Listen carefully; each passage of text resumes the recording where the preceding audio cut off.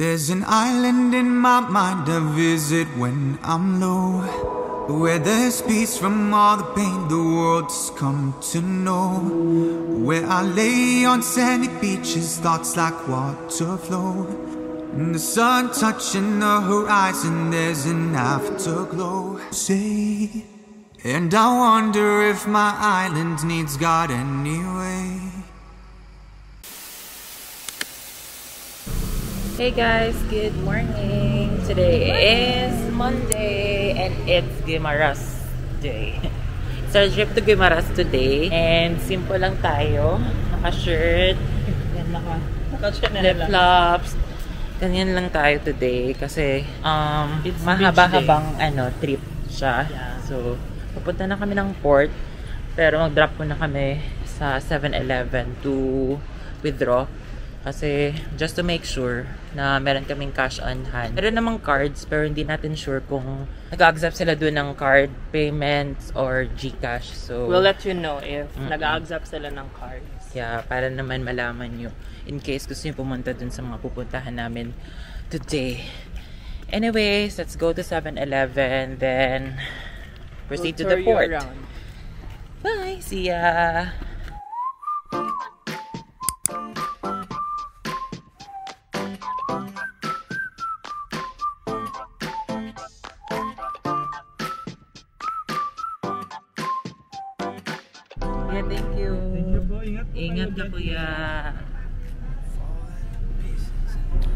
Binook namin kanina is iba pala yun. Pabacolod yun na, na port.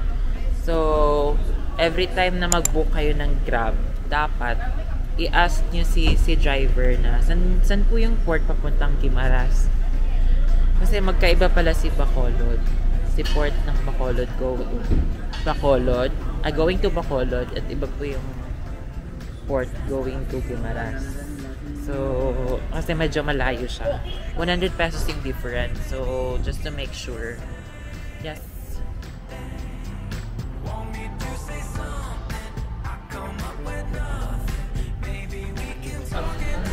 So, we got our tickets na babayaran to is sa, sa boat na mismo. So, kukuha lang sa labas.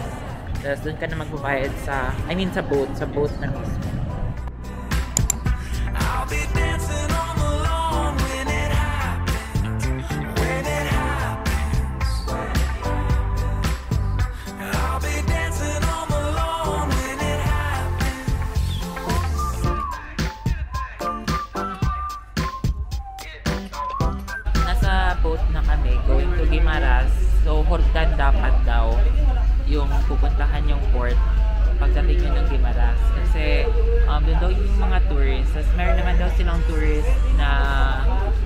Table doon kung saan ka makaka-ask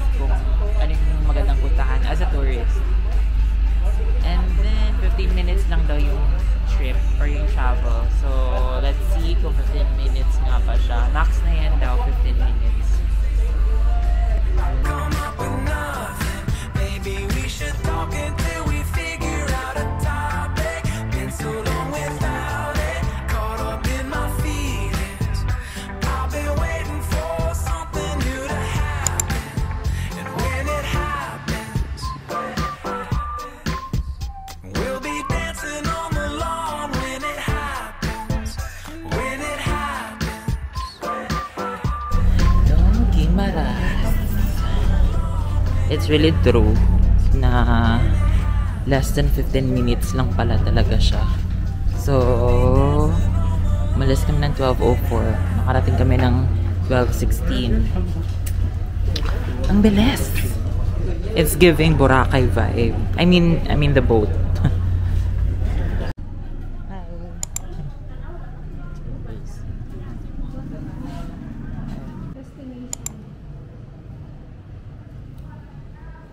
of transportation. Pag uh, tricycle po siya, sa lahat na yun ng recommended destination is 2,000. Pag multi-cab is 3,000. Pag van is 5,000. Maglalas yung price pag maglalas po kayo ng destinations. So, we got the 2,000 pesos na day tour ng tricycle. Pero magle-less siya every time may ililess kayong destinations. So I think that's better kasi hindi naman na, lahat gusto namin puntahan. Selected lang. fake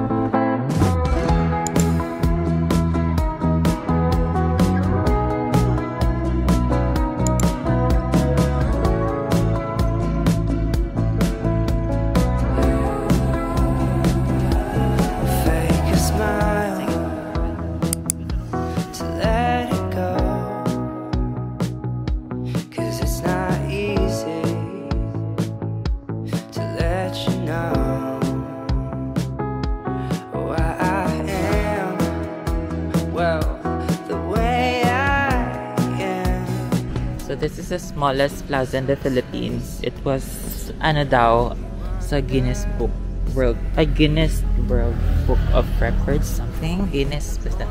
Anyway, so this is the smallest plaza. First destination namin to. Anyways, let's proceed. I'm trying to start a fight.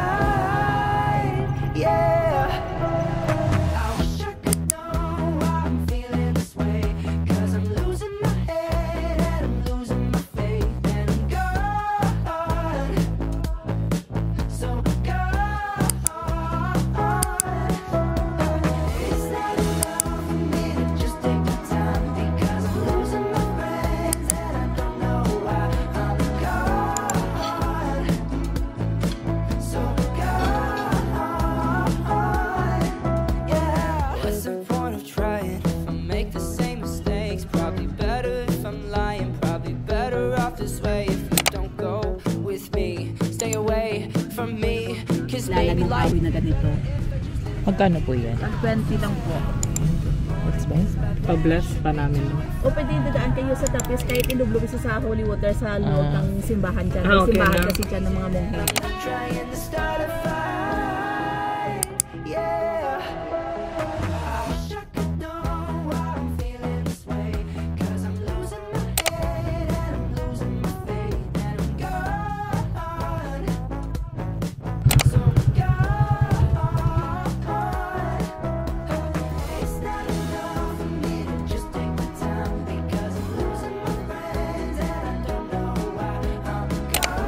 I asked kuya kung what's the secret of Gimaras sa mga matatamis na lang mangga. The secret daw is really the lupa.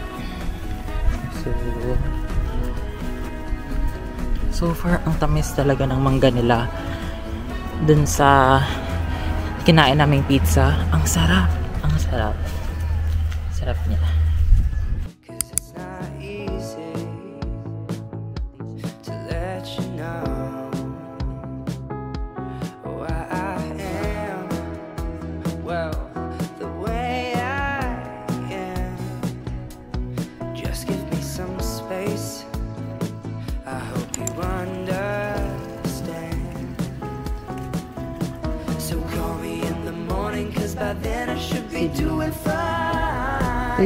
Seedlings, guys. I'm feeling heated for no reason and I'm not trying to start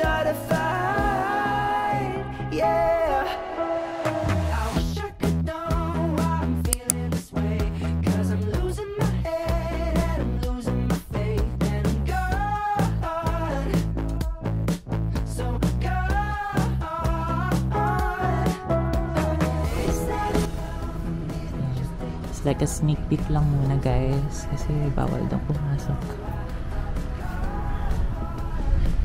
Kasi hindi naman tayo monks. So bawal pang pumasok. Anyways,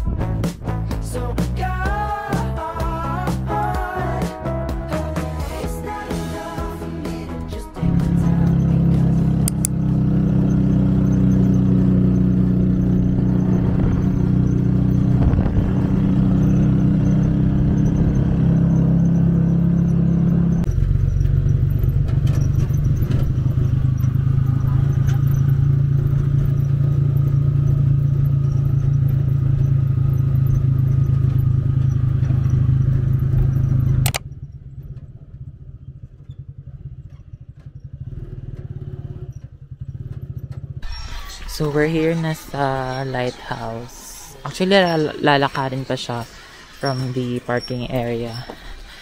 Tapos, galing dun sa gift shop or monastery. Ang layo niya pala, besh. Like, very, very, very, very, very malayo. Almost one hour. Yeah, almost an One hour hour. yung biyahe. Oh my God. Halos sumakit yung likod namin. Di din namin in-expect actually. So let's go to the lighthouse na.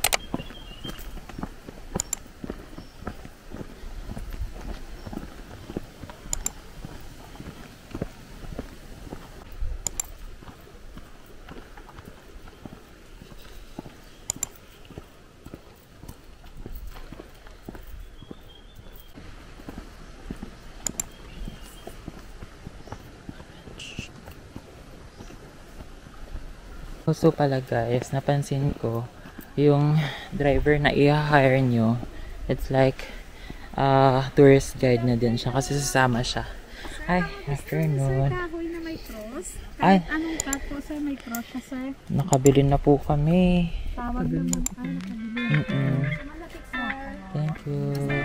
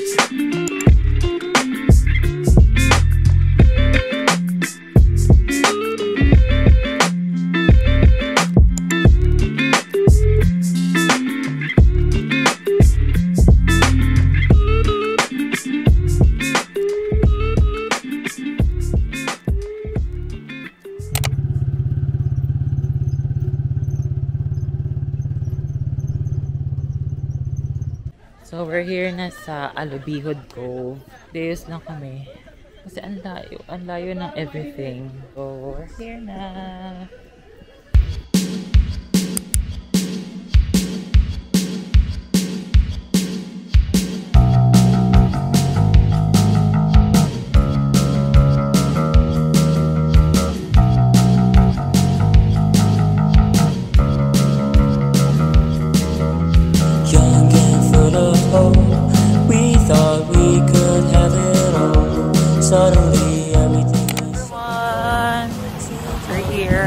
At Alubihod Cove.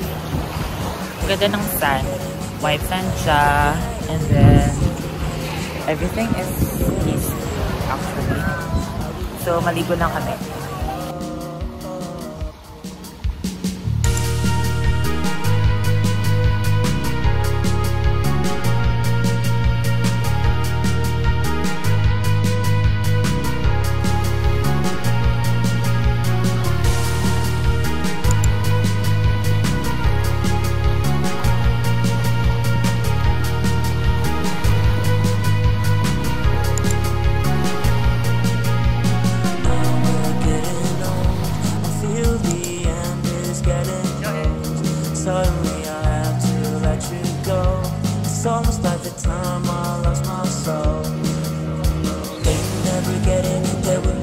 forgetting was such a